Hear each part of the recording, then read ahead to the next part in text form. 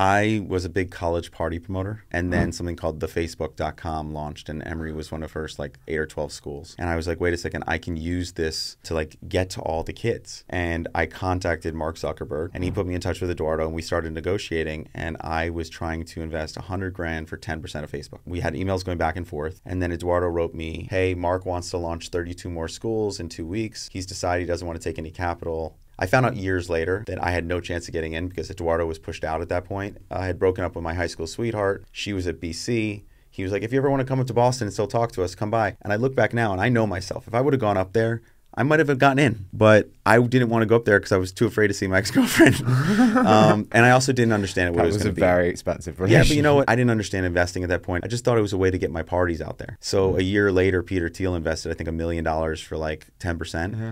And I thought, oh my God, I could have made a million dollars. And that loss opened me up to the idea of investing.